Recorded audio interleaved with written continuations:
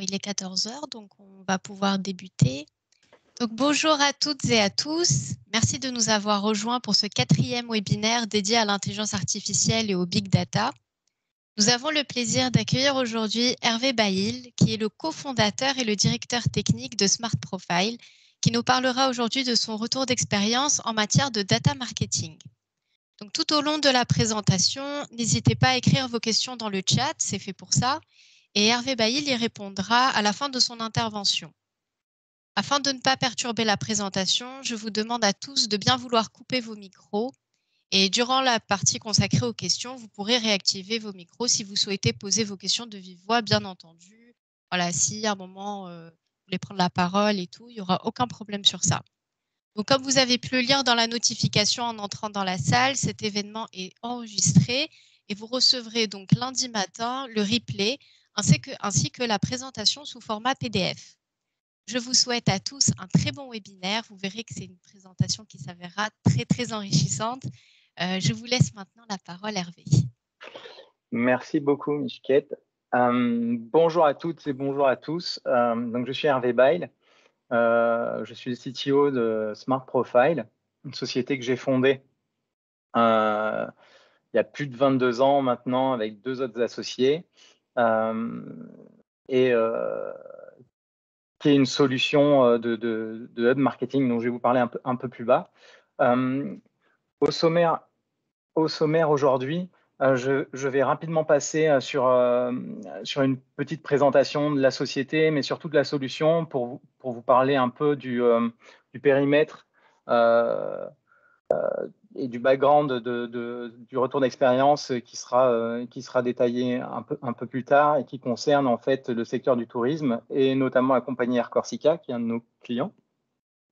Euh, donc, nous sommes Smart Profile, je suis Hervé Bail, donc encore une fois, euh, merci, merci d'être présent et de, et, de, suivre cette présentation ce, que nous faisons au sein de Smart Profile, en fait, c'est euh, vraiment, il faut considérer la solution comme un hub marketing dans laquelle on va entreposer des données. Il sera beaucoup de questions de données euh, aujourd'hui. Donc, on va collecter ces données, mais on va aussi les enrichir. On va essayer de, transformer ces données brutes euh, qui viennent de différents canaux pour leur apporter de la valeur et pouvoir permettre à nos clients de les exploiter au mieux. Voilà. Euh, il y a pas mal de slides qui sont pris de, de, présentations à droite à gauche. Je vais passer assez rapidement sur certains, euh, sur certains slides qui sont plus des, slides issus de présentations commerciales, mais vous les retrouverez. Je pense que le support sera, sera mis à disposition, comme ça vous, aurez euh, des informations un peu plus complémentaires.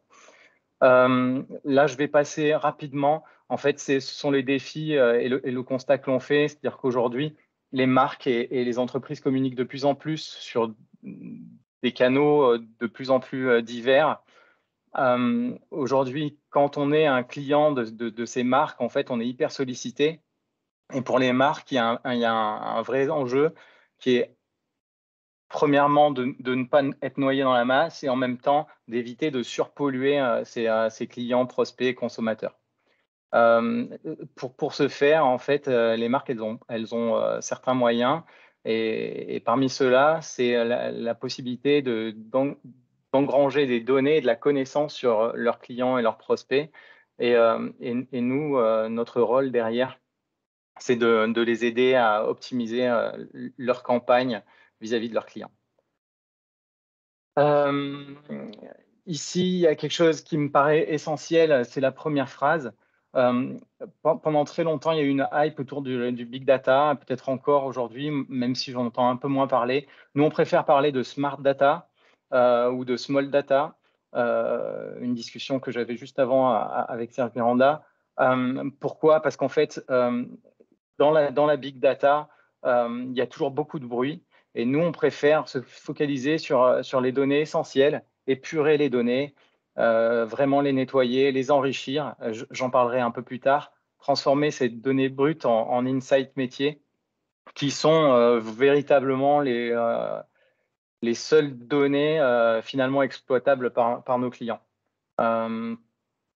donc je, passe un peu sur le, sur, sur le reste, si ce n'est de vous dire que voilà, l'objectif de, de, la solution derrière pour nos clients, utilisateurs, sont vraiment de, de permettre, euh, de leur permettre de proposer une expérience utilisateur personnalisée vis-à-vis de leurs propres clients. Euh, comme je disais, pour éviter d'être noyé dans la masse et le flow perpétuel. Bon, ça c'est Smart Profile en chiffres. Euh, voilà, donc on existe depuis plus de 22 ans. je passe ce slide. la solution, c'est une vraie solution de marketing unifié donc, en fait, on va de la collecte jusqu'à l'activation des campagnes. On est routeur d'email. On est capable de faire du développement de l'intégration sur mesure. On co-construit la, solution et c'est pour ça qu'aujourd'hui, je peux parler au nom d'Air Corsica, qui est plus qu'un client. C'est un partenaire. Ils nous font confiance. On, travaille main dans la main avec nos clients en général sur de gros projets. Et, et c'est très important pour nous. ils nous font confiance et surtout, ça nous permet de, co-construire la solution et de répondre pour être au, plus près de leurs besoins et de leurs problématiques. Euh, voilà quelques références. Comme vous voyez, en fait, je les ai classées par, euh, par, euh, en faisant des verticaux en fonction des, des, types de métiers et de secteurs. Donc aujourd'hui, on va être plus sur la partie tourisme avec Air Corsica. Mais aujourd'hui, on se rend compte qu'on a la, dans un prochain séminaire, je pourrais très bien vous parler de la partie média, car aujourd'hui, c'est quelque chose qui se développe vraiment beaucoup pour nous. Euh, notre expertise aujourd'hui, elle est reconnue. Je passe vite fait, juste pour vous dire, mais c'est intéressant par rapport à, mon intervention du jour. on a, on a un, grand partenariat avec le laboratoire NEO de l'INRIA, avec lequel on collabore depuis 2017. On est membre du SNCD, euh, de Signal Spam. notre solution est labellisée par la CPM, qui est la, seule, euh, euh, la, seule organisation en France accréditée pour, pour certifier l'audience des médias. et puis localement, puisqu'on est issu de Sophia Antipolis, on fait partie des associations locales French, Tech Côte d'Azur, Telecom Valley, le pôle SCS. Voilà. Euh, quelques slides pour vous parler plus en détail de Smart Profile. Donc, comme, euh, comme je vous ai expliqué, en, fait, tout se passe au sein de la solution en plusieurs étapes. La première étape, c'est de faire venir les données à l'intérieur de la, solution euh, par différents moyens, soit par des fichiers propriétaires et des, et des connecteurs propriétaires. mais surtout, ce qui va nous intéresser aujourd'hui, sont les données euh, comportementales issues euh, de ce qu'on appelle de l'analytics du, web, euh, du web tracking ou des, applications mobiles. on est capable aussi de, récupérer des données directement depuis des, formulaires, des enquêtes, etc., des jeux qui sont proposés aussi par, la, solution. Donc en fait, ça boucle, vous allez comprendre, les données, elles rentrent, elles sont nettoyées, retraitées, filtrées, enrichies au, moyen de différents euh, calcul, algorithmes, etc., dont on parlera un peu plus tard. On a la possibilité sur ces, données qui sont retraitées et, euh, ce que j'appelais un peu plus tôt les smart data, euh, de construire des segments ou des profils, d'avoir un orchestrateur qui va nous permettre de faire de l'automatisation de tâches, de données, d'activation de campagne ou tout simplement de reboucler ici et de revenir mettre à jour ces données.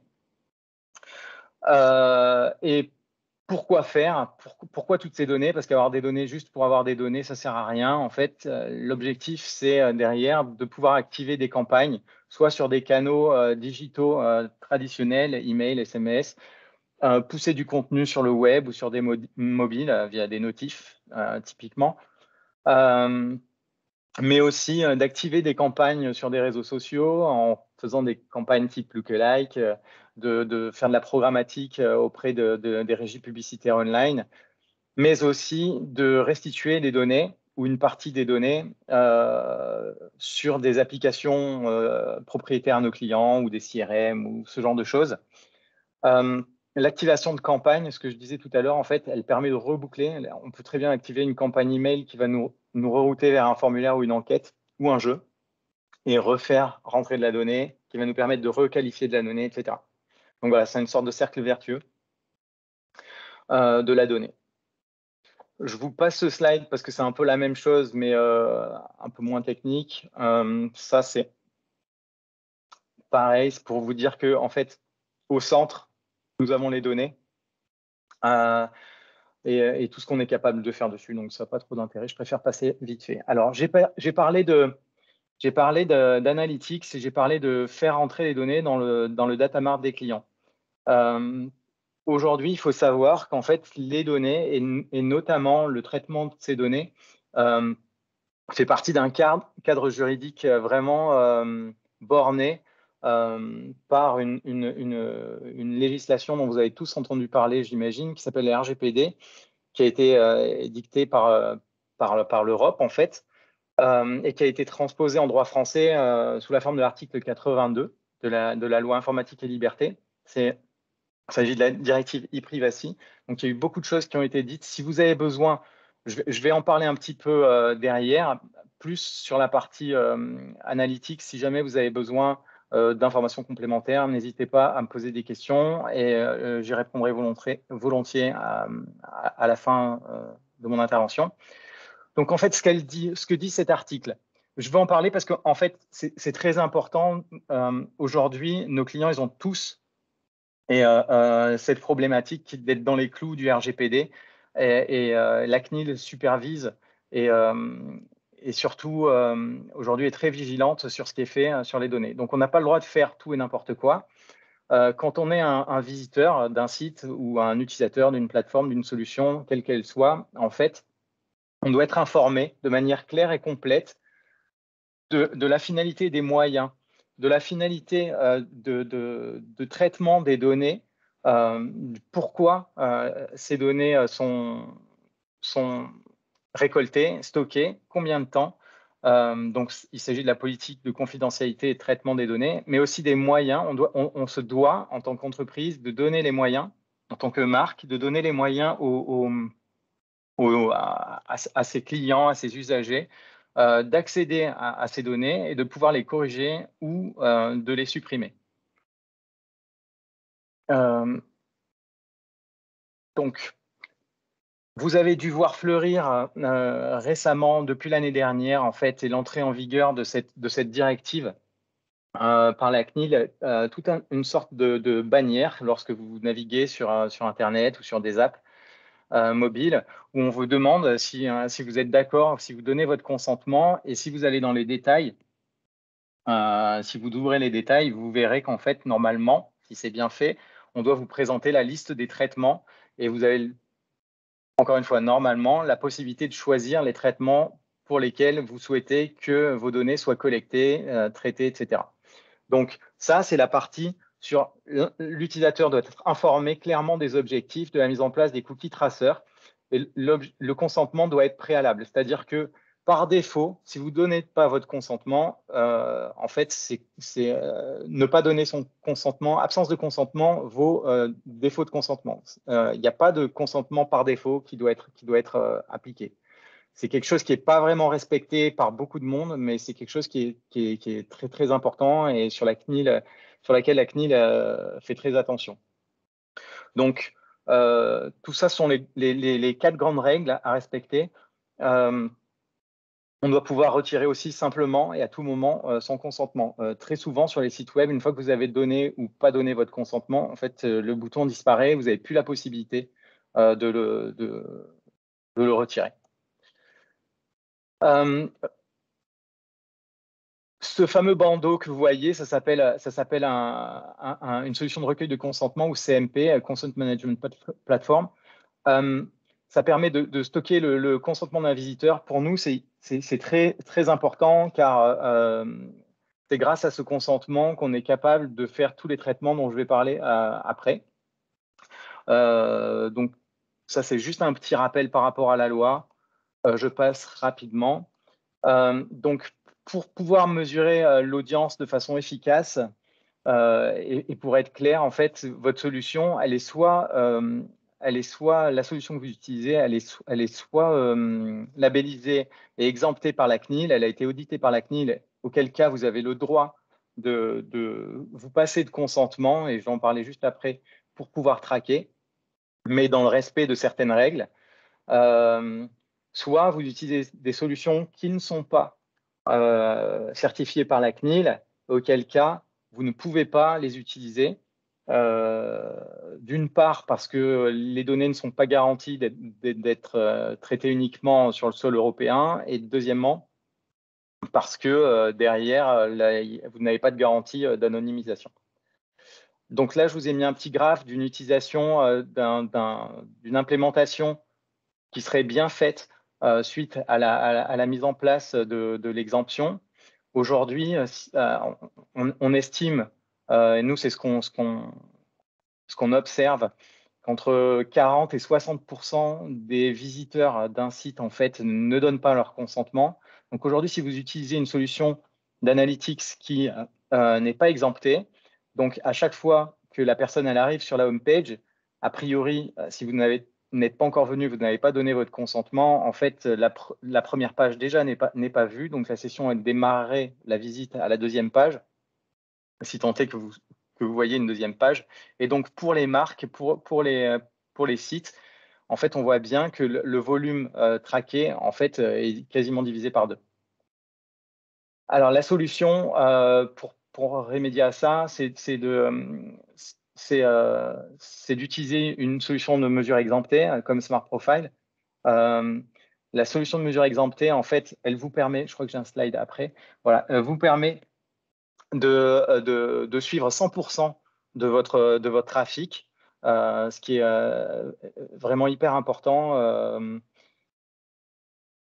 au delta près que c'est pour ça qu'on parle ici de mesure hybride. Sur la, sur la, partie, sur la partie pour laquelle vous avez un opt-in, vous pourrez récupérer 100% de vos données, ça n'a pas de problème. Mais sur le delta, vous n'aurez que des données statistiques euh, anonymisées.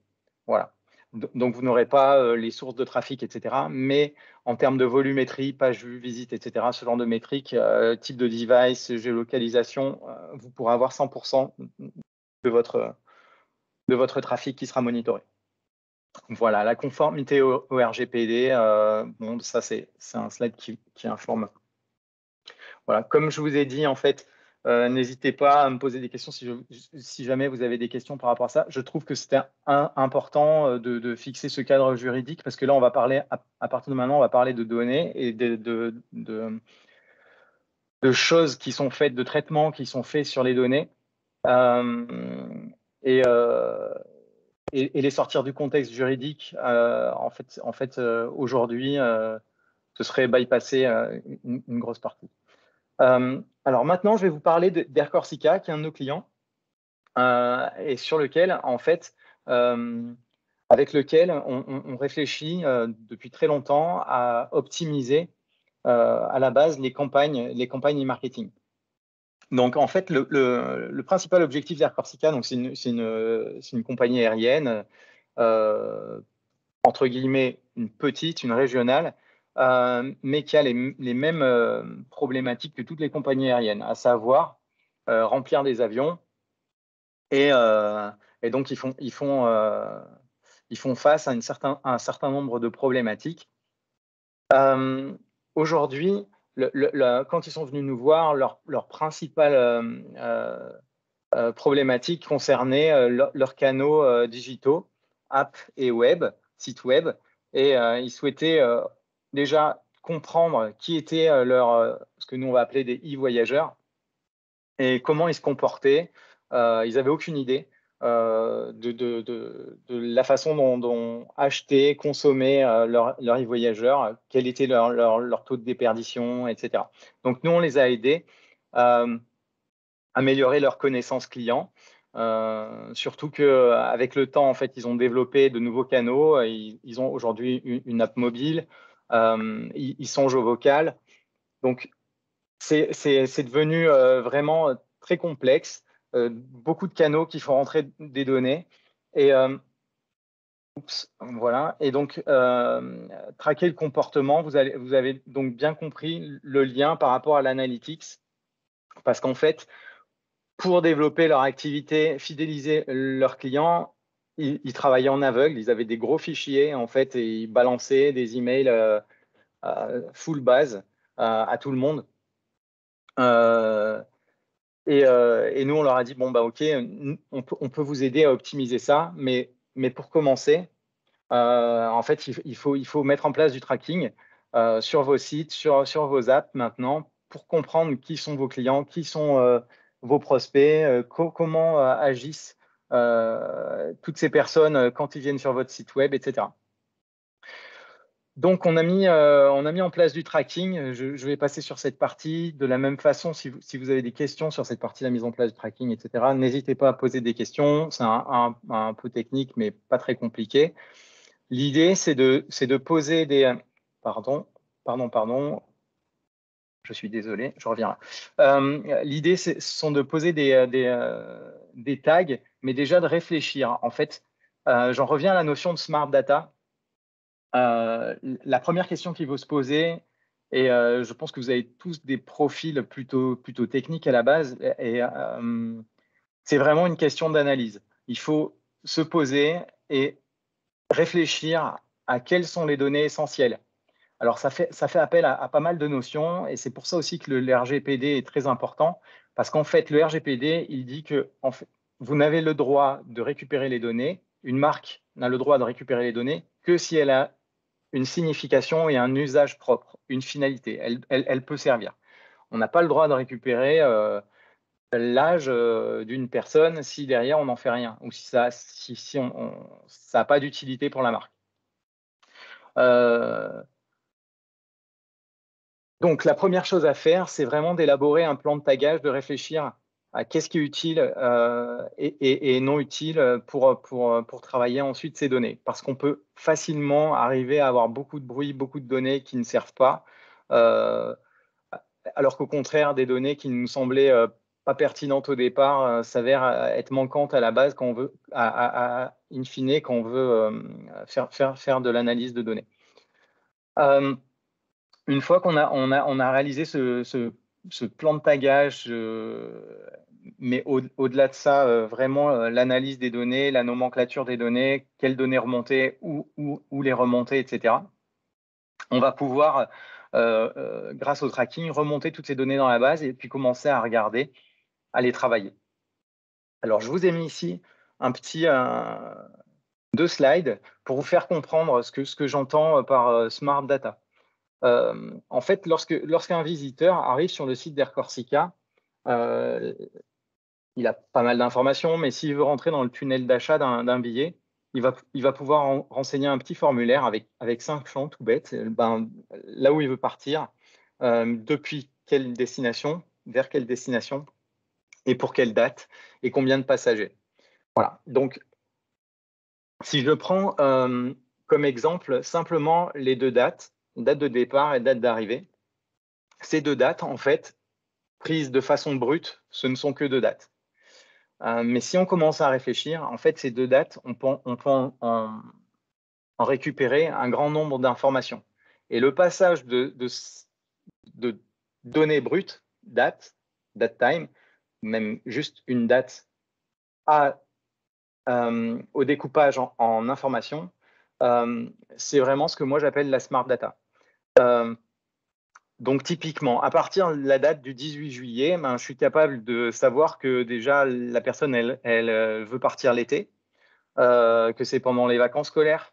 Euh, donc je connais la saison, parce qu'il y a un phénomène de saisonnalité dans le cadre du, business marketing d'une compagnie aérienne.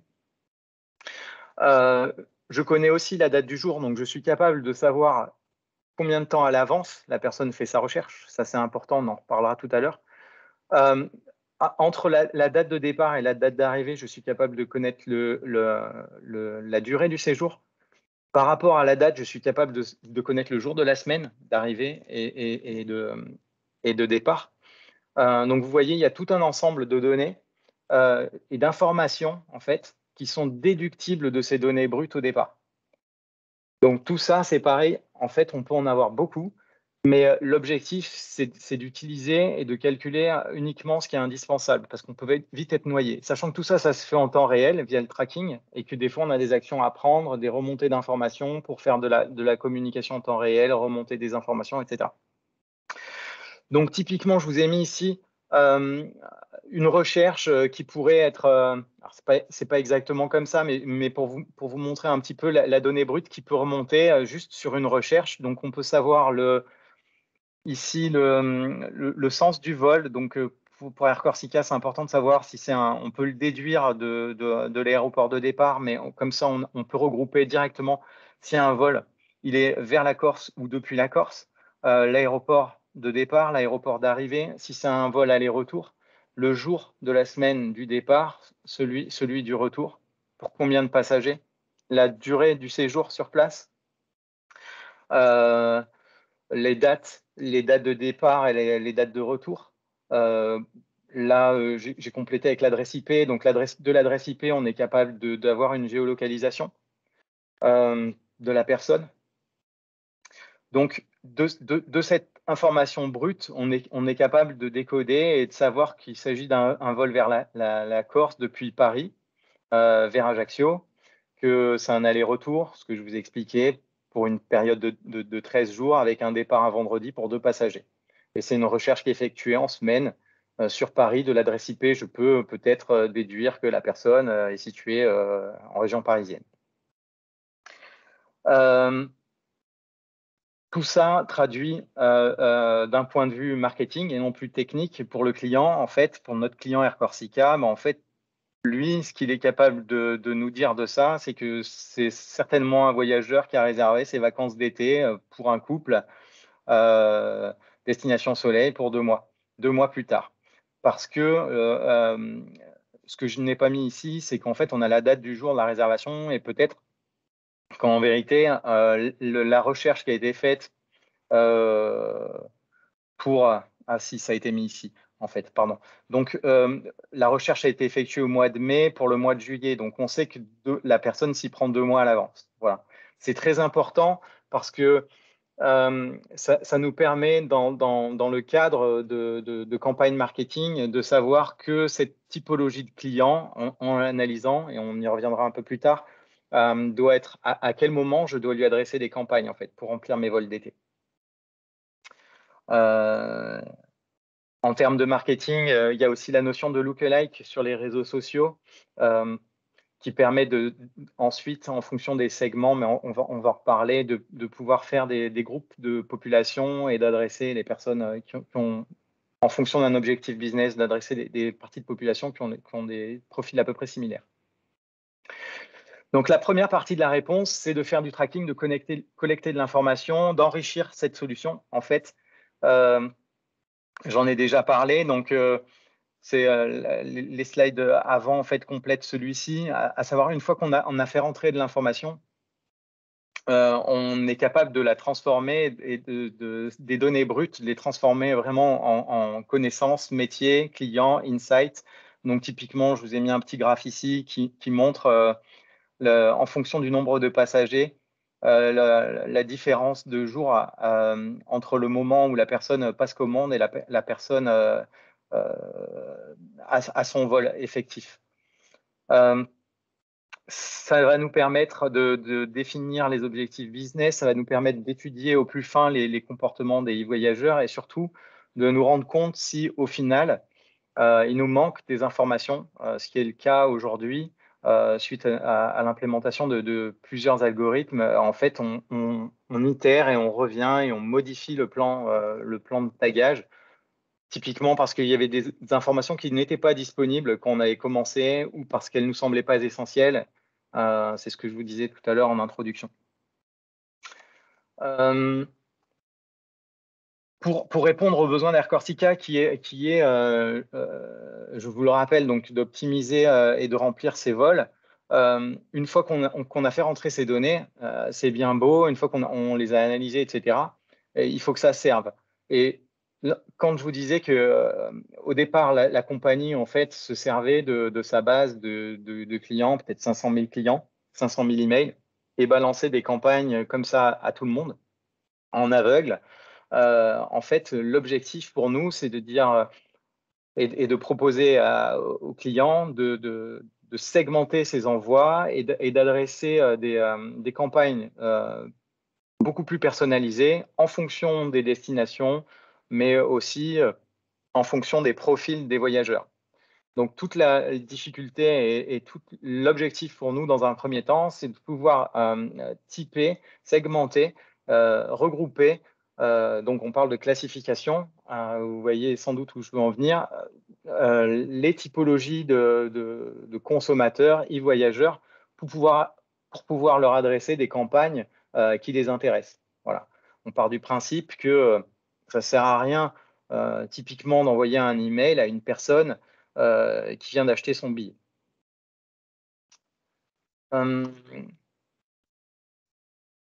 La, réponse à ça, hum, en fait, à part l'analyse de données, euh, l'évidence de, cette réponse a été de, mettre en place des algorithmes euh, d'IA en collaboration d'une part avec notre client Air Corsica qui a, bien voulu qu'on travaille sur ces données et, avec l'INRIA qui est un laboratoire Sophia Antipolis d'autre part l'équipe NEO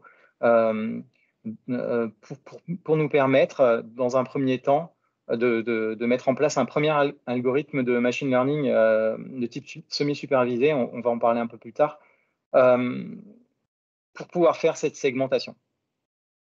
Euh, euh, et, définir des clusters euh, qui vont nous servir ensuite pour les objectifs business de la compagnie. Donc, dans le temps, on, a, mis au point un premier algorithme de machine learning semi-supervisé avec l'INRIA. je, vais en juste après. On a mis au point un second algorithme de machine learning non supervisé cette fois-ci pour faire du clustering, clustering aussi. Pardon. et et ensuite, euh, on, est en train de travailler aujourd'hui sur différents euh, algorithmes qui sont plus de la, recommandation, de l'optimisation, de la prédiction. Euh, j'en parlerai après également. Alors, la, première étape dans notre, projet, dans notre démarche d'intelligence artificielle, euh, elle s'est faite euh, en collaboration avec l'INRIA, parce que nous, on avait zéro expérience euh, sur cette partie. Et on avait par contre une grosse envie de, collaborer avec, avec l'INRIA, qui est, un laboratoire qui est vraiment spécialisé. On avait besoin d'apprendre. ça a été une expérience vraiment très enrichissante parce que à la fois l'INRIA, eux, ils travaillent sur des modèles mathématiques, euh, des algorithmes, etc. Mais ils n'ont pas trop de, ils n'ont carrément pas de données, euh, de jeux de données euh, issus des entreprises sur lesquelles ils, peuvent tester, améliorer leurs algorithmes. Et nous, eh ben, en fait, on n'avait pas la connaissance ni le, comment je pourrais dire, le, savoir pour, pour, implémenter ces algorithmes. On ne savait même pas par quel, par quel bout euh, commencer à travailler. Donc en fait, on a, on a collaboré pendant quasiment un an. Euh, et on, s'est mis d'accord euh, pour travailler sur un premier algorithme qui serait de la, du machine learning basé sur, un algorithme de machine learning semi-supervisé. Donc, en fait, on est parti sur l'idée d'identifier des, clusters type au départ et essayer de, regrouper l'ensemble des, euh, clients de la compagnie dans ces huit clusters. Euh, alors, euh, là, je vous ai mis des slides qui, proviennent d'une présentation que, j'ai faite avec Gagan, qui est l'ingénieur avec lequel j'ai travaillé, et Constantin à l'INRIA sont des slides plutôt très techniques. Je vais, passer assez, rapidement. Je vais vous, parler euh, grosso modo en fait de, notre méthodologie, plus que des détails. Si vous avez besoin de détails vraiment euh, très techniques, euh, je prendrai vos questions. J'essaierai de répondre au mieux. Et puis, je me proposerai d'y répondre peut-être dans un deuxième temps, parce que moi-même, je ne suis pas mathématicien. Euh, mais, par contre, je serais ravi d'y répondre ou de, transmettre vos questions euh, aux personnes euh, qui pourront vous répondre. donc, l'objectif de, ce projet, c'était de classifier les, clients de, la, compagnie aérienne basés sur leur comportement, en fait, dans le temps et par rapport à leur comportement d'achat et leur comportement sur le site. En fait, ce qu'on dit ici, c'est ce, que je, ce que je vous ai raconté. On, est parti du principe d'utiliser de, un algorithme ou des algorithmes de type semi-supervisé. Donc, il a fallu diviser, en, en, tout cas réfléchir à huit types de, clusters différents qui nous semblaient, nous, en termes marketing, intéressants pour la compagnie. Donc, euh, qui vont des euh, nouveaux clients, cœur de cible, les clients à développer, euh, les, ceux, qui, ceux qui dépensent beaucoup, on va dire les VIP, ceux qui, par contre, les radins, on va dire, ceux qui, ceux qui dépensent toujours en mode éco, qui n'achètent jamais, jamais d'options, euh, ensuite, ceux qui, n'achètent jamais, en fait, qui se contentent de visiter plusieurs fois, mais, qui euh, n'achètent jamais. Les bons clients, ceux qui, achètent régulièrement, et les VIP, euh, ceux, qui non seulement dépensent beaucoup, mais en plus de façon régulière. donc, on a besoin d'avoir, dans, un type semi-supervisé, donc on a besoin de labeller les, les, clients. Donc, on a, besoin de, spécifier en amont les, clusters. Donc, euh, euh, là, je vous ai remis un slide au milieu qui me permet de, qui vous dit en fait, qui vous redit ce que je vous ai dit tout à l'heure. Donc, euh, voilà, à partir d'une donnée brute, c'est l'exemple de tout, tout, ce qu'on est capable de déduire. Voici l'algorithme qui, euh, qui, a été mis en place. Donc, euh, en fait, on, a beaucoup de données qui ne sont pas labellisées. On, a, on, a, on est parti sur la, on a pris le parti de, labelliser une petite partie des données et, d'apprendre par rapport à, à, ce petit nombre de données labellisées.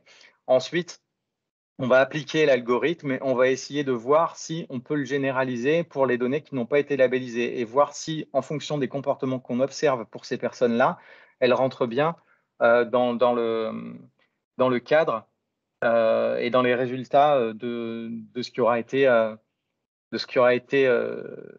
calculé par l'algorithme. Alors, on est, tombé sur plusieurs, difficultés la première difficulté et une étape qui nous a demandé beaucoup de temps, ça a été le data cleaning et la, vérification et la création des différentes classes pour être sûr après de pouvoir vérifier que les, que les clients étaient bien euh, dans, certaines classes. Donc on s'est rendu compte que typiquement, il y, a, parmi les huit clusters qu'on avait définis au début, il y en avait deux qui, étaient euh, entre guillemets obsolètes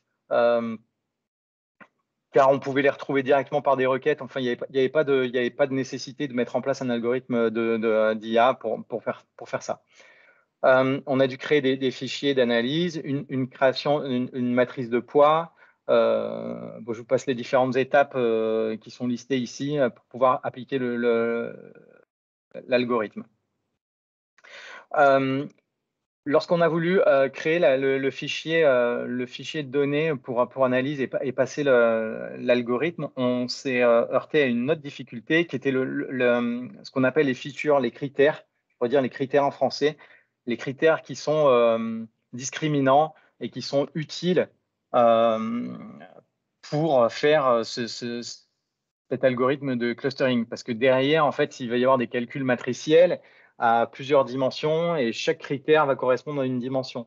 Donc, euh, il est bien évident que, comme je vous ai dit un peu plus haut, d'une date, euh, on peut déduire tout ce, tout ce type de, de, de, critères, mais si on rajoute non, euh, simplement depuis une date une dizaine de critères, sachant qu'on en a d'autres, on a, on a l'aéroport de départ, l'aéroport d'arrivée, le prix, les options, quelles options, etc., le nombre de passagers. Vous voyez qu'on a, on a énormément, énormément de critères, de features.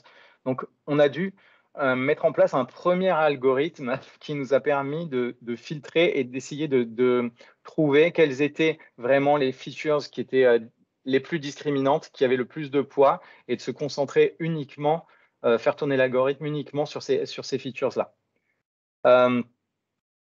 donc voilà, donc là c'est l'algorithme qu'on a utilisé, s'appelle FCBF. Donc euh, voilà, je vous l'ai mis là pour information. Euh, de ce qu'il en est ressorti, euh, c'est qu'en fait, on, a retenu uniquement sept features. Plus la, date d'achat.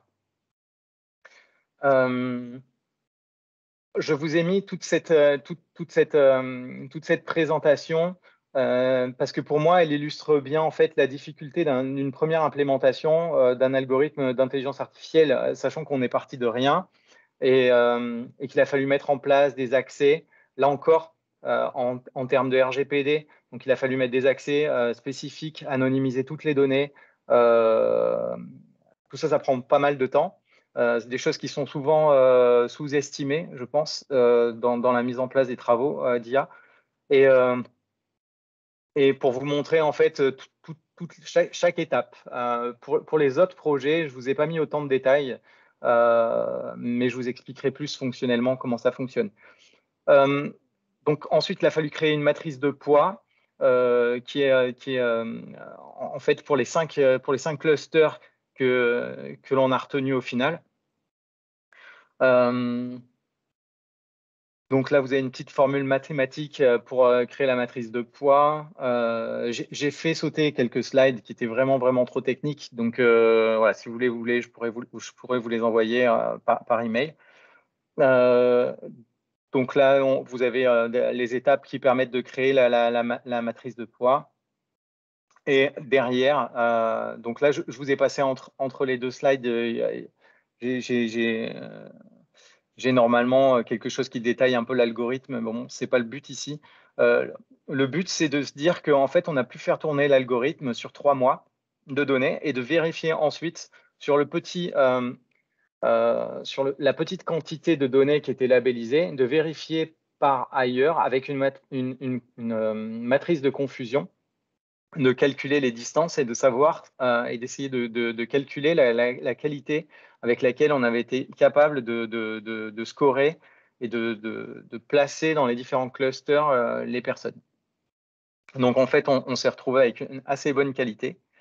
Euh, une qualité ici qui est de 88%, donc 85% selon, selon, les, selon les différents tests. Donc ça a été assez, assez satisfaisant pour nous. Euh, euh, au final, euh, on, a retenu une qualité de, l'ordre des 70%. quand on prend en compte les, cinq classes, c'est satisfaisant. Je, dirais qu'en fait, je vais revenir ici pour la conclusion. Je dirais qu'en fait, c'est un projet qui nous a beaucoup appris. Aujourd'hui, cet algorithme, il n'est pas implémenté dans la solution en tant que tel. Il reste à l'état de, je dirais, prototype. Il n'est pas industrialisé. La grande difficulté étant pour nous euh, de labelliser les données euh, de façon euh, automatique. la deuxième difficulté étant que, en fait, cet algorithme, aujourd'hui, il est, il est très gourmand en ressources et qu'il prend énormément de temps à calculer. On a, voulu le calculer sur, sur trois mois de données et on avait des temps qui étaient, enfin, c'était pas possible de, pouvoir s'en servir en, temps réel. Or, nous, on a des objectifs euh, pour la compagnie qui sont euh, pas, pas du temps réel, mais euh, typiquement qu'on doit, doit réaliser des, campagnes marketing sur de l'emailing et, et, calculer des listes de, par rapport à des segments, par rapport à des secteurs. Il faut qu'on puisse le faire, la marque, le client, il vient vers nous et il veut envoyer ses, ses, campagnes le lendemain. Donc, euh, c'était pas possible. En tout cas, c'est une première approche, une première approche aussi collaborative avec l'INRIA. Il y en aura d'autres, j'en parlerai euh, un peu plus tard.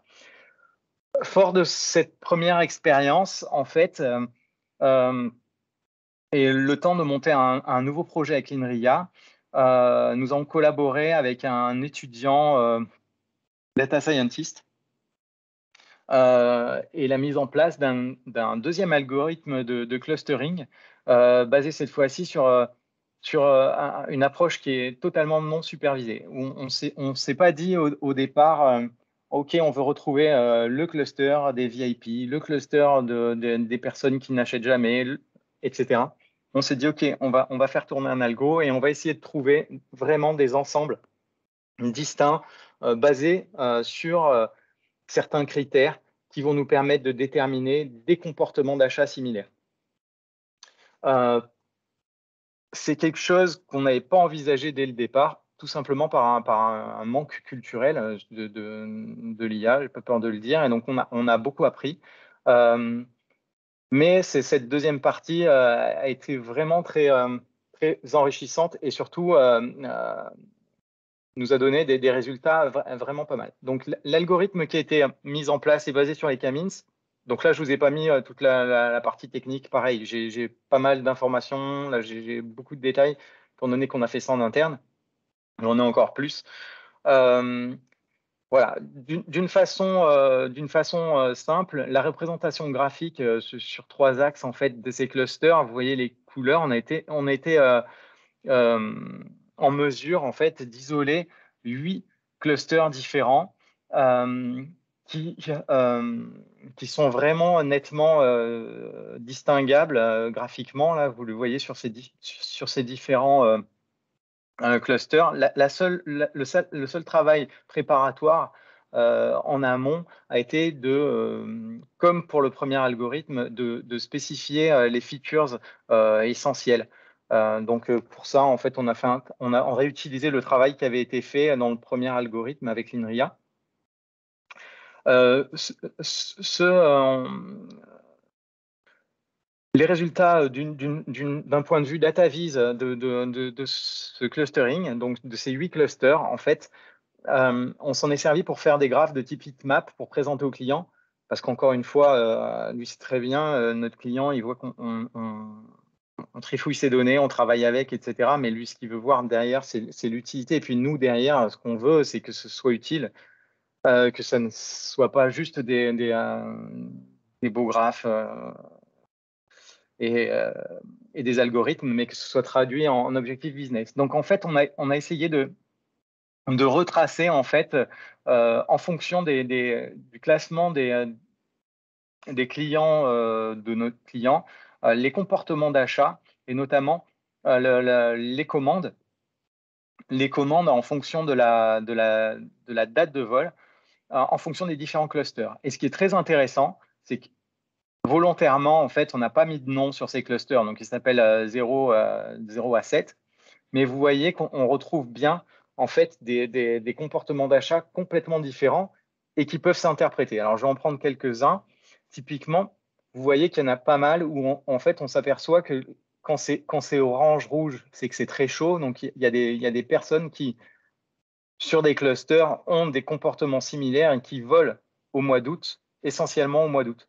Donc on a le cluster 7, le cluster 4 et le cluster 2 qui volent essentiellement au mois d'août. Aussi en juillet, mais essentiellement au mois d'août. À l'inverse, on a des, on, en reparlera plus tard, on, a des, euh, un cluster, le cluster 6, qui volent essentiellement des mois d'octobre à mars. Mais par contre, juillet-août, qui ne volent pas. Quand on regarde et qu'on va fouiller les données du cluster 6, on s'aperçoit que les personnes qui sont dans ce, dans ce cluster-là, comme ceux du cluster 3, qui ont à peu près des comportements à peu près similaires, ce sont plutôt des résidents corses. Et on peut bien comprendre que les, résidents en Corse, en fait, en général, euh, les mois d'été, ils restent en Corse, mais par contre, ils, voyagent les, autres, les autres périodes, euh, les autres mois de l'année. Le cluster 5, on voit que c'est à peu près flat sur toute l'année. En fait, ce sont aussi des résidents corse. Parmi les les résidents corse, on a une partie de, de, la, population qui, euh, est obligé de sortir pour des raisons médicales, etc. Donc la, compagnie aérienne a une, a une mission de continuité euh, territoriale, notamment euh, euh, pour les, les, personnes qui doivent se faire hospitaliser à Marseille ou à Paris, etc. Donc voilà, on retrouve en fait des comportements vraiment ciblés en fonction des, des, des, de ces huit clusters qui ont été trouvés a priori sans, euh, euh, vouloir euh, les, différencier dès le départ en les nommant. Mais de cette façon, ça nous a permis vraiment de déterminer quelle personne, en fonction de leur cluster, a une habitude forte pour voler à telle ou telle période. De la même façon, je ne vous, ai pas mis, vous ai pas mis le graphe ici, on a le même euh, on a, fait le même travail, le même graphe qui nous permet de, montrer l'appétence selon les clusters du, vol par rapport à la date d'achat. Non plus par rapport à la date de vol, mais par rapport à la date d'achat. Et ce qui est intéressant de voir, je pourrais vous l'envoyer si, ça vous intéresse, de voir qu'en fait, selon les clusters, ben, les personnes qui volent au mois d'août achètent plutôt au mois d'avril ou achètent plutôt au mois de mai. Pourquoi c'est hyper intéressant C'est hyper intéressant pour la marque parce que là, on est vraiment dans le concret pour lui. À savoir que aujourd'hui, on est au mois de mars et au mois de mars, euh, la volonté du client, c'est de se dire OK, mes vols de juillet-août, je sais qu'ils euh, vont être pleins. Je sais qu'ils vont être pleins parce qu'en général, ils sont toujours pleins euh, pour les destinations depuis, depuis la France vers la Corse. Par contre, mes vols de septembre-octobre, je sais que j'ai du mal à les remplir. Donc, quel cluster est à même de voler sur mes destinations en septembre et octobre et à quel moment, en général, ils achètent donc, si je suis capable d'extraire des listes ou des, ou des profils de, de, ces clusters-là, je vais être capable euh, et je vais être en mesure non seulement d'adresser des campagnes au bon moment à ces personnes-là, de leur adresser un bon message en, leur proposant un produit qui peut potentiellement les intéresser plus que de leur vendre euh, du séjour l'été. Et au final, je n'ai pas besoin de vendre du séjour l'été puisque de toute façon, je sais que je vais le vendre. Pardon. Mais aussi de mener des campagnes sur d'autres sur d'autres euh, médias, sur d'autres canaux comme les réseaux sociaux et faire ce qu'on appelle du lookalike, d'aller euh, proposer des, des, euh, des, campagnes sur des profils similaires à ceux que moi j'aurais isolés. Donc, on voit bien que c'est une vraie optimisation de campagne et avec un retour sur investissement qui est bien meilleur, une pollution, et j'en parlerai tout à l'heure, qui, qui, est bien plus satisfaisante, une, une, une une insatisfaction euh, de, des clients qui est bien meilleure, euh, parce qu'il y a des problématiques de, de, non-désinscription euh, de la part des usagers, de la marque, etc. par rapport au clustering, un, deuxième graphe qui me semblait intéressant à vous montrer et qui, et qui est corrélé au cluster, qui nous permet de réfléchir. Là, j'ai fait un zoom sur Nice. Donc là, je vous ai mis euh, les, euh, nombres d'achats pour les vols achetés entre le 1er, euh, le 1er et le 31 janvier 2019 en fonction de la date de départ du voyage. Donc, et, au départ de Nice. J'ai pris 2019 volontairement parce que, ben, avec la, la, situation sanitaire depuis 2020, en fait, le secteur du tourisme est vraiment touché et on a des données qui sont correspondent plus trop à la norme avec des vols qui ont été annulés, décalés, etc. Donc c'est en train de revenir à la normale, mais malgré tout, cette année, ça a encore été perturbé. Donc l'année de référence, c'est vraiment 2019. Donc grâce à ce, à, graphe, on est en mesure de voir que les, personnes euh, euh, qui ont acheté des vols sur les premières semaines de l'année, euh, en fait, pardon, euh, donc, les personnes qui vont voler, attention que je dise pas de bêtises. ok, donc ce sont effectivement donc les personnes qui ont acheté des vols entre le 1er et le 31 janvier 2019. Quand est-ce qu'elles vont partir? Donc la plupart vont partir en janvier donc, sachant que janvier, ça, va s'étaler de la semaine 1, on va dire, jusqu'à la semaine 5, un petit peu au début février, mais on voit qu'après un gros trou ici, les personnes qui ont acheté en janvier, c'est aussi pour voler aux alentours. Bon, là, on ne peut pas survoler, mais ça va être semaine 22, ça va peut-être être avril, mars-avril, peut-être même plus tard, juin. Donc, les personnes euh, qui achètent au départ de Nice, et on, constate vraiment des, euh, euh, des comportements différents en fonction des lignes. Quand elles achètent en janvier, elles vont acheter non seulement pour voler très près, mais aussi pour voler plus tard. Donc ça, à corréler avec les clusters au-dessus, ça va nous permettre d'extraire. Ah, zut, je suis désolé. En fait, la souris tourne toute seule. Donc, euh, on va être capable d'extraire en fait pour une période en particulier une liste de diffusion très fine. Parce que des fois, le client, son besoin, ça va être de remplir ou d'envoyer parce qu'il fait une vente privée, parce qu'il a un avion qui est, qui est, est, qui est vraiment pas rempli et il sait qu'il veut remplir autour de la, semaine 27 ou de la semaine 28 au départ de Nice. Et, on va être en mesure de lui extraire la liste des personnes potentiellement intéressées.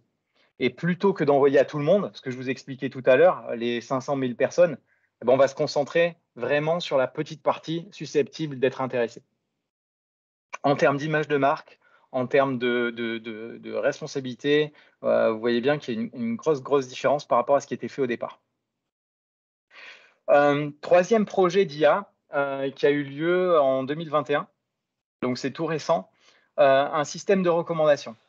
Euh, ce projet est toujours en cours euh, avec une étudiante euh, qui était à la fois stagiaire INRIA et chez nous, qui nous a rejoint. Aujourd'hui, elle, fait partie de l'équipe en tant que data scientist et je vais en parler tout à l'heure. elle postule à une thèse pour faire suite à ses travaux. En fait, on a travaillé sur des algorithmes de recommandation. Une fois qu'on a mis en place ce clustering, euh, on s'est dit, OK, c'est très bien. Euh, maintenant, on connaît assez bien, assez finement, on est capable de déterminer les groupes de population euh, à qui envoyer des messages. L'idée, c'est d'aller plus loin et de proposer les meilleurs messages envoyés à, ces personnes-là. Donc, en fait, basé sur, des algorithmes qui existent déjà, on a pas mal cherché là aussi à trouver la bonne approche, sachant qu'il y a on va dire, deux grosses approches. Euh, une qui, est basée sur du feedback explicite et une sur du euh, feedback implicite. N'ayant pas de feedback aujourd'hui qui est remonté dans la plateforme, euh, les algos de recommandation, ben, en fait, en général, c'est utilisé par des, marques comme Amazon, comme Netflix. Donc, et généralement, ils vous demandent de, noter une commande, un produit, etc. Ils se servent de ce feedback-là derrière pour, pour alimenter leur propre algorithme de recommandation. Nous, n'avons pas ça. C'est quelque chose sur lequel on travaille. Je vous ai dit tout à l'heure que, en fait, on cherchait sans cesse à reboucler et à améliorer les données qui rentraient dans la plateforme. C'est quelque chose sur lequel on travaille avec, euh, avec Air Corsica pour pouvoir mettre en place des, euh, sortes de, ne serait-ce que des sondages automatiques euh, à la fin, des expériences de vol pour récupérer ce feedback. Aujourd'hui, on ne les a pas. Donc, on est parti sur, un algorithme de type euh, implicit feedback basé sur euh, euh, du collaborative filtering avec matrix factorisation. La, méthode qui a été implémentée, en fait, on a implémenté plusieurs méthodes, deux notamment, je vous les ai listées là, la méthode ALS et BPR, en utilisant du machine learning et une, autre méthode basée sur le, collaborative filtering et les, réseaux de neurones en utilisant du deep learning. Euh, on, a, pu tester les, deux, euh, méthodes, on les a comparées et en fait le résultat qui été retenu, c'était d'utiliser ALS. Euh, parce qu'en fait, je vous ai mis les résultats ici, les conclusions des travaux. En termes de rapidité d'exécution d'algorithmes, et je vous ai dit que c'était quelque chose qui était important pour nous, et, en termes de fiabilité des résultats, en fait, les, des deux côtés, en fait, euh, c'était bien meilleur. Néanmoins, on a un problème qui est lié à ce qu'on appelle le phénomène du cold start pour les, nouveaux vols, les nouvelles lignes qui sont mises en place pour lesquelles on n'a pas encore de données, et pour les nouveaux clients qui rentrent dans la database. Aujourd'hui, euh, c'est plus difficile de faire des recommandations pertinentes. Donc, en fait, on a des idées pour pouvoir poursuivre ces travaux, euh, basés notamment sur l'implémentation d'un algorithme hybride euh, sur une librairie qui s'appelle LightFM. Euh, on est aussi en train de travailler sur, un, autre axe qui est la prédiction. la prédiction notamment au, niveau, au niveau emailing avec Air Corsica, on travaille beaucoup sur la, partie euh, communication emailing. On a, on a beaucoup travaillé à optimiser euh, cette, partie. Je, vous ai expliqué un petit peu toutes les démarches de comment le client faisait avant et vers quoi on tend aujourd'hui. Euh, l'objectif, c'est d'aller encore plus loin. Donc, en termes de prédiction, on essaye aujourd'hui de déterminer, en fonction des, habitudes observées, en, fonction d'observation et en fonction de toutes les données collectées, euh, quels sont euh, les, euh, les jours, les périodes de la journée pour lesquels chaque destinataire de message semble être le plus réactif. L'idée, c'est d'éviter. alors, on partait donc, comme je vous ai dit, de mass mailing, de, full base, où on envoyait 500 000 emails à, tout le monde le même message, à essayer de se dire, OK, ben maintenant, on est capable de segmenter, on est capable de personnaliser les messages. Ce qu'on veut faire, en plus, c'est d'envoyer. On sait que, par exemple, Hervé Bail, il a pour habitude euh, de. Euh, il ouvre jamais les emails le lundi, même quand on lui a envoyé, euh, mais il préfère. À chaque fois qu'il a ouvert, c'était soit un mercredi, soit un vendredi. Eh ben, on va lui envoyer soit un mercredi, soit un vendredi. Et en plus, on a remarqué qu'il ouvrait toujours l'après-midi. Donc, ben, on va lui envoyer en début d'après-midi un, message si on doit lui en envoyer un. Voilà, ça c'est l'objectif business. Euh, cet algorithme est, une, on en est à la version 2 est déjà en place. On a déjà des, choses qui tournent. Euh, et euh, l'objectif, c'est de pouvoir le généraliser. L'avantage étant que ce type d'algorithme, pour nous, et de mon point de vue, il est plus facilement généralisable à, n'importe quel type de secteur. En fait, vous si vous vous souvenez, je vous ai, montré tout à l'heure nos différents types de clients en fait, euh, euh, que ce soit les médias ou le tourisme, en fait, l'analyse des comportements suite à l'envoi de campagnes email euh, est la même, en fait. Voilà ce que je voulais vous dire à propos de ça. pour finir, parce que je vois que l'heure tourne, quelque chose qui me tient à cœur. Donc, Iptial qui nous a rejoint aujourd'hui en tant que data scientist, en fait, elle postule à une thèse. C'est une thèse qu'on va, on va co-suivre euh, à la fois moi de mon côté, mais aussi euh, Constantin euh, de l'INRIA, qui va la chapeauter en tant que directeur de thèse. le dossier est monté, il est envoyé à la NRT, on attend la validation. le sujet de la thèse, c'est de, de, de, rendre responsable en fait le, marketing digital en optimisant les systèmes de recommandation et en automatisant le plus possible. C'est-à-dire que c'est l'idée, je vous l'ai mis, je vous l'ai mise ici. Euh, aujourd'hui, euh, les marques euh, sont sensibles et tout le monde est sensible à, avoir une démarche responsable et, virtueuse en termes de, pollution. Il faut savoir que très souvent, quand on parle d'emailing, on pense à spam, on pense à pollution numérique. C'est vrai, c'est un fléau. Et c'est pour ça que nous, on incite nos clients euh, à être dans une démarche virtueuse de, ce point de vue-là. Euh, euh, donc, je vous ai expliqué toute la démarche là avec l'exemple d'Air Corsica. Parce que derrière, en fait, c'est un fléau pour les marques aussi, hein, parce qu'ils ont une attrition de leur base de données, les gens se, plaignent, se désinscrivent, il y a les réseaux sociaux aujourd'hui sur lesquels euh, les personnes peuvent se plaindre aussi, etc. Donc, euh, il y a, un vrai déficit en termes d'image, mais il y a aussi une vraie pollution qui est le coût en CO2 euh, de, et, dont on parle peu lié au numérique. Un email, un email aujourd'hui sans pièce jointe, donc un email tout bête, on estime que c'est 4 grammes de CO2. Donc imaginez les campagnes. Air Corsica, c'est une petite c'est une petite euh, compagnie aérienne. Donc, quand ils envoient 500 000 emails, je vous laisse faire le calcul de, la masse de CO2 que ça représente. Donc, l'idée pour nous, c'est d'avoir un algorithme euh, clé en main qui permette à une marque de choisir, une fois qu'elle aura la, main sur l'interface de la plateforme, de choisir si elle souhaite euh, cibler de façon fine en utilisant notre algo versus euh, utiliser les mauvaises pratiques, entre guillemets, à l'ancienne, et, de voir en, fait et d'inscrire dans une blockchain l'économie de CO2 qu'elle aura réalisée pour réduire significativement euh, son empreinte carbone dans, sa démarche de marketing euh, vertueux. Voilà, ça c'est l'objectif. je trouve que c'est un, bel enjeu qui, fait la part belle à la fois à la, à technologie à l'économie responsable et au marketing digital. Donc voilà, c'est à, la croisée, à la frontière de plusieurs domaines. Et c'est un travail euh, voilà, qu'on souhaite démarrer euh, cette année. Euh, voilà ce que je voulais vous dire.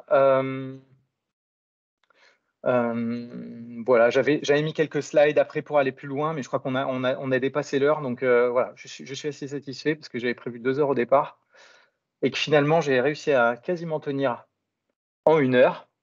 Euh, donc Michiette, peut-être euh, on peut s'arrêter là, je sais, je sais pas en fait, ou alors je, peux vous raconter une petite anecdote. Euh, mais, tu peux finir en conclusion avec la petite anecdote, mais on va poser des questions, on va, on va interagir. Vas-y, finis ta. Alors, ce que, ce, que je, ce que je voulais vous dire comme petite anecdote, ce que je peux vous raconter, c'est que en fait la segmentation, le clustering, c'est quelque chose qui au départ, euh, avait, euh, pour certains d'entre nous dans la, dans, dans, dans la boîte, avait une, une, euh, connotation marketing.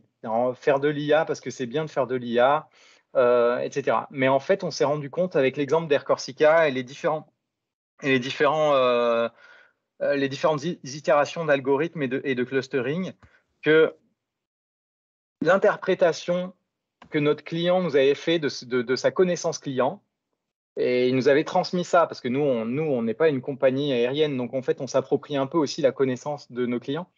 Euh, il partait du principe que euh, euh, qu'en fait, les, il segmentait sa base entre Paris et province. Et il se disait que voilà, bah, les Parisiens, ils avaient tel comportement et qu'ils achetaient les billets très souvent, très, peu à l'avance euh, et, que les provinciaux, euh, par contre, ils achetaient euh, très souvent à l'avance. Et ils segmentaient sa base comme ça. Et nous, on était partis pendant deux, trois ans, pendant lesquels on n'avait pas fait d'IA, sur la, même décomposition de la base. En fait, on s'est rendu compte avec les clusters, en affinant, ce que je vous ai montré tout à l'heure, les, huit clusters et la heatmap, en fouillant les données, qu'en réalité, en réalité, ce n'est pas une question de géolocalisation, ce n'est pas une question de, parisiens et provinciaux, c'est une question de plus fine, c'est une question de famille et euh, célibataire euh, couple. Euh, quand on est une famille, ben, il y a des coûts évidents. On, prévoit on, réserve des billets pour 4, 5, 6 personnes et on prévoit ses vacances un peu à l'avance. Quand on est un couple et quand on est, ou, quand on est célibataire, en réalité, on a moins cette contrainte-là. On peut partir et réserver son billet très peu de temps à l'avance ce qui, se trouve, c'est que les familles sont surreprésentées versus les, euh, célibataires et, couples, euh, de, couples sans enfants sont surreprésentés en province euh, versus Paris. C'est pour ça qu'en fait le client il avait cette, compréhension, il, avait en fait une, compréhension qui était juste tout en étant fausse sur l'interprétation de ces données. Voilà, c'était la petite anecdote. Très bien, merci. On, va essayer d'interagir un peu. Alors, je vais me permettre de, commencer et puis de, revenir sur le commentaire que l'on avait fait tous les deux avant, juste avant le début de ton séminaire. Mm-hmm. Euh, j'ai reçu récemment une publication de Stanford de l'équipe Deep Learning euh, qui rejoignait exactement le premier point de ta euh, préoccupation marketing, de travailler ce que, sur ce que tu appelles les smart data une des composantes du futur du deep learning. On a eu récemment une présentation là-dessus euh, autour de l'hybridation.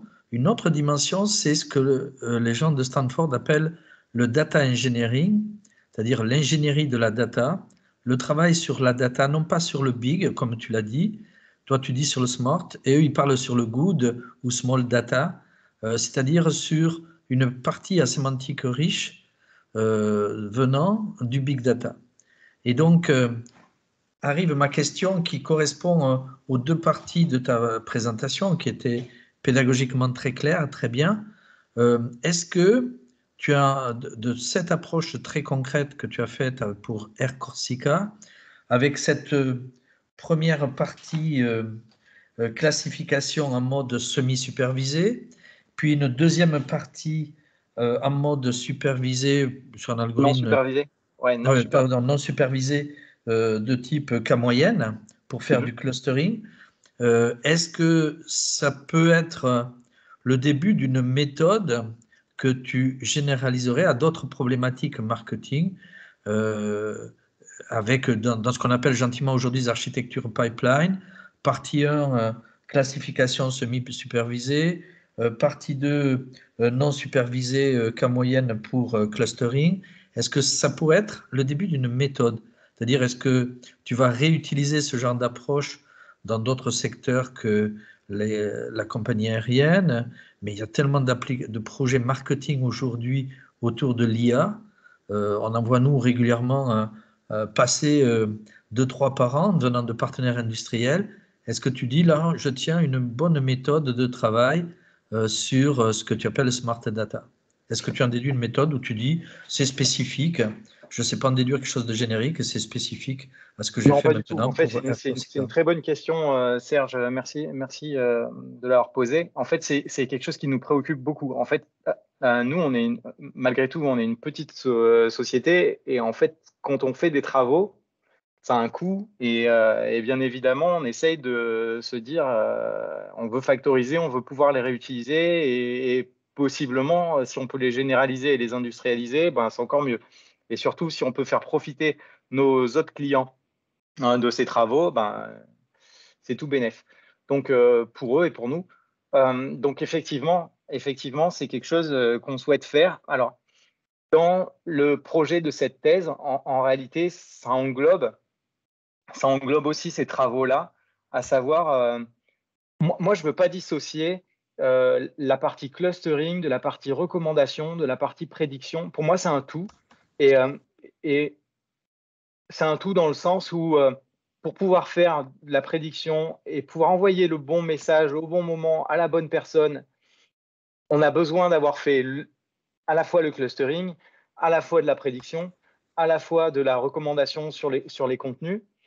Et je pense effectivement, en tout cas, ce sera le but de cette thèse aussi, d'avoir ce système qui nous, nous permet d'optimiser tout ça et de trouver une méthode généralisable euh, aux différents secteurs. Euh, euh, je, te parlais en préambule, avant, qu'on attaque, aujourd'hui, on a beaucoup de demandes dans le secteur des médias. parce que en, fait le, secteur s'est ouvert et donc c'est une, discussion qu'on pourra avoir. Si vous avez des questions là-dessus, je pourrais, y répondre. La législation a beaucoup changé pour eux. Euh, là où avant, ils auditaient euh, simplement leur trafic pour connaître leur audience et avoir des métriques claires euh, avec Google Analytics, vu, les changements de législation, ils ne peuvent plus le faire. Donc, en fait, ils, se tournent vers des solutions, comme la nôtre. le fait qu'on ait plusieurs briques, et pour avoir discuté cette semaine avec un, un, gros client à nous qui est Horizon Média, euh, ils ont ces problématiques. Ils ont ces problématiques de savoir, en fait, ils ont différents sites, différentes marques, et ils ont besoin de, savoir qui sont leurs personnes. Est-ce que la personne, euh, là, je vais parler plus concret, je vais plus parler du tout d'Air Corsica ou, de voyage, mais la personne qui va voir un article qui parle de Mbappé et de Porsche, est-ce qu'il est plutôt intéressé par Mbappé, par le PSG, par le football, par les voitures par la F1 ou par les Porsche? Euh, Est-ce qu'il euh, est plutôt intéressé par le luxe, etc. Donc tout l'enjeu pour nous, c'est de pouvoir généraliser. Mais les données ne sont pas les mêmes. C'est pour ça que je dis qu'en amont, il y a une grosse phase, et là qui est propre malgré tout à, chacun de nos clients et à, chacun, à chaque secteur. Euh, le modèle chez nous, il est complètement dynamique. En fait, on n'a pas deux clients qui ont, le même modèle de données. Pardon. Je, vous ai montré les données qui remontent pour Air Corsica avec les dates, les, vols, etc. On est certain que pour Horizon, les, données qui vont remonter de leurs articles ne seront pas les mêmes. Ça va plus se baser sur des centres d'intérêt, etc. Mais derrière, on va se retrouver avec des features. et tout l'enjeu pour nous, c'est de rendre ces features et, ces critères euh, en entrée et nos algorithmes euh, assez génériques pour pouvoir manger ces différentes features et, ressortir des clusters, etc. Je ne sais pas si j'ai bien répondu à ta question. Oui, oui tu as répondu. Voilà. Mais c'est comme ça que sont nées les méthodes de conception dans l'univers des bases de données. C'est euh, j'ai construit une méthode, je peux la réutiliser. Et j'aimais bien cette idée de méthode d'ingénierie de data de la partie 1 qui vise, tu vois, donc voilà, à faire du, euh, tu vois, de, cette classification avant le clustering. Et, et ça, je, je, trouvais ça très bien. Je dis cette, cette idée doit pouvoir être généralisable à une approche d'ingénierie de data euh, euh, voilà, dans, dans, le monde du machine learning. Mais voilà, c'était c'est une, une façon, après, comme tu l'as dit, pour toi, de, de, pouvoir réutiliser des choses que tu as bien faites euh, de façon à satisfaire des demandes clients. Et bien évidemment, la partie 1, c'est une partie très sémantique, elle va varier suivant euh, les clients, si c'est une compagnie aérienne, le luxe A ou B, c'est évident. Voilà.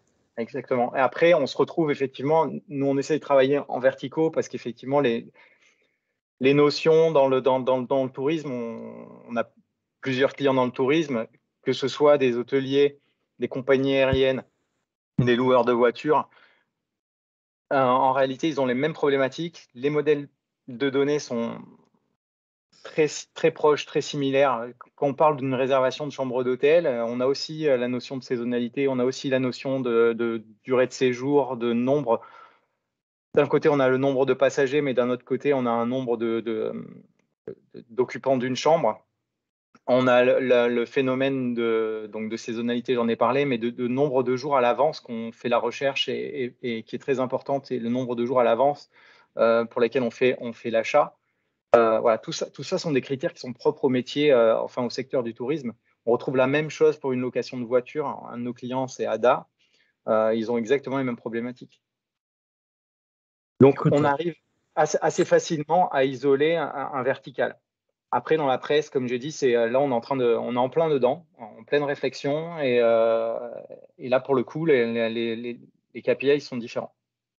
Les KPI sont différents, et, et on voit bien que l'audience, elle induit un business euh, derrière dans les pubs, et donc voilà, le plus tu pourras certifier une audience, le mieux ce sera vis-à-vis d'un discours marketing interne. C'est évident que là, il y a des incidences très importantes en termes de business. Euh, en tout cas, merci. Moi, à mon niveau, je, me suis régalé à t'écouter. Tu vois, le prof s'est régalé à écouter l'ancien élève. Tu vois, et, je vois que tu, voilà, tu, es sur un très bon créneau où la demande est, multiforme. Et euh, voilà, keep on, bonne continuation à mon niveau. Merci beaucoup. En tout cas, très honnêtement, c'est passionnant. C'est passionnant parce qu'on s'approprie en fait les, euh, aussi, nous, les. moi, je, je, voilà, moi, je fais de la technique, je fais de la, mais euh, du développement, de la recherche, mais je ne suis pas du tout dans le monde du tourisme. Mais par contre, euh, on s'approprie de cette façon vraiment le modèle économique, les réflexions euh, stratégiques et marketing de nos clients. C'est super intéressant. Et on peut passer d'un Air Corsica à un Horizon ou à un Manpower ou à une banque. Et, et ça, c'est passionnant. En tout cas, merci, c'était très clair et c'est exactement ce que on souhaite vis-à-vis de nos étudiants de master et puis des partenaires, c'est les confronter à des use cases concrets comme ce que tu fais et tu vis euh, dans ton entreprise et bravo. je vois une question de Sergio. Sergio, si tu prends la parole, tu peux euh, poser la question oralement. Euh, dans le chat et je préfère que tu poses la question. Sergio, tu peux prendre le micro et poser la question. Après, de mémoire, je crois que Sergio a un problème de, micro. D'accord. Bon, alors, donc, euh, donc sa question, question... Lila, Michette. Euh, alors, c'est merci. Déjà, il te remercie pour, euh, la, pour ta présentation, Hervé. Alors, il te dit Je n'ai pas compris comment la validation des modèles était faite. Est-ce que vous avez, est-ce que vous avez utilisé des tests AB Oui, alors, pour, euh, pour la validation des modèles, c'est le premier algorithme euh, INRIA, j'imagine, ou le deuxième? Je ne sais pas si. Bon, je vais, je vais partir du principe qu'il me parle de la, de la validation des segments, du clustering.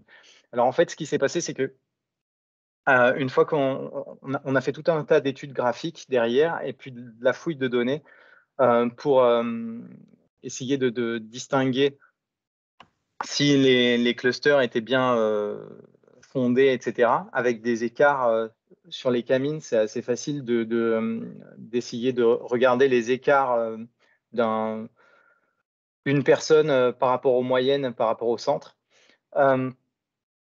donc cette, partie étant faite, on a réalisé effectivement des campagnes très ciblées, très fines, avec, avec, le client, avec des ROI, donc des Return on Investment, qui étaient excellents.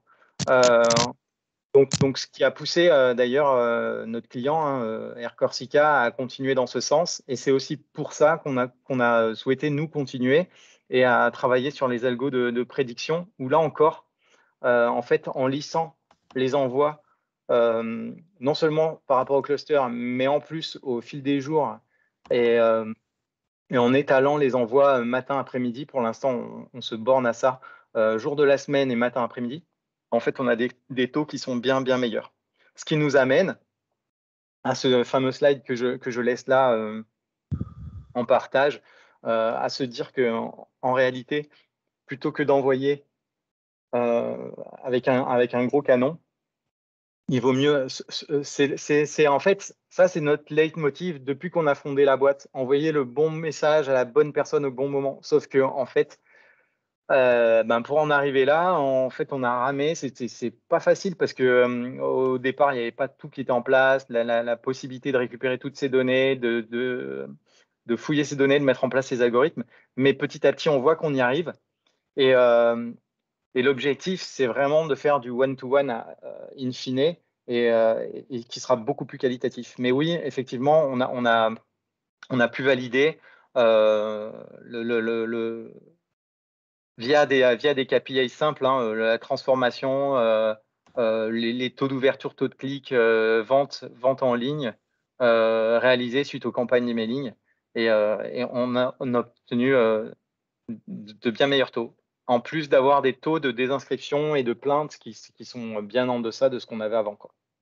Donc, en même temps, une amélioration de l'image euh, pour la marque. Tu as dit intéressant, merci beaucoup. Est-ce qu'il y a d'autres euh, est-ce qu'il y a d'autres questions? Surtout, n'hésitez pas.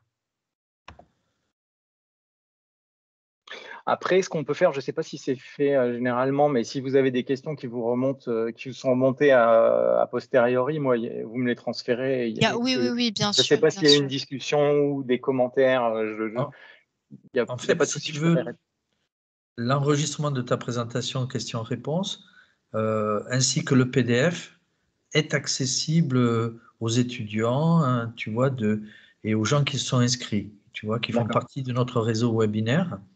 Et donc, oui, il y a généralement des questions qui peuvent remonter et qui peuvent euh, être directement adressées, voire de, je pense que clients potentiels.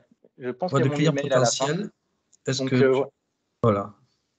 Donc, il y a ton mail. Euh, si, si tu as un client potentiel grâce à ta présentation, bravo. je vous le dirai. je vous en part. Voilà, et ce serait souhaité, ce serait bien. Ce serait un autre effet de bord, positif. Bon, est-ce qu'il y a d'autres questions? Est-ce qu'il y a d'autres questions? Bon, on va clore là. Il n'y a pas d'autres questions en temps réel. Hein, Hervé, je te félicite et je te remercie euh, pour euh, ton webinaire. C'était passionnant et, et, on te souhaite bonne chance, bonne continuation euh, dans un monde un peu plus libre à tous les niveaux. merci Serge, merci Michette, merci pour votre accueil et, et c'est toujours intéressant de participer et c'est avec grand plaisir. En tout cas, merci. Merci à toi. À très vite Hervé et, bonne, journée. Bonne chance, au revoir. Donc, je vais juste, euh, moi, clôturer de mon côté. Donc, ce séminaire touche donc à sa fin. Merci à toutes et à tous d'y avoir participé.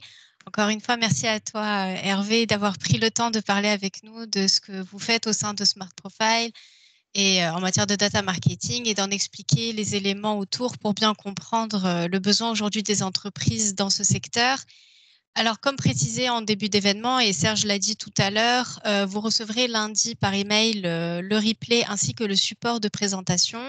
N'hésitez pas à, envoyer, à nous envoyer vos questions si vous en avez encore pour Hervé, où il a affiché son, son adresse email.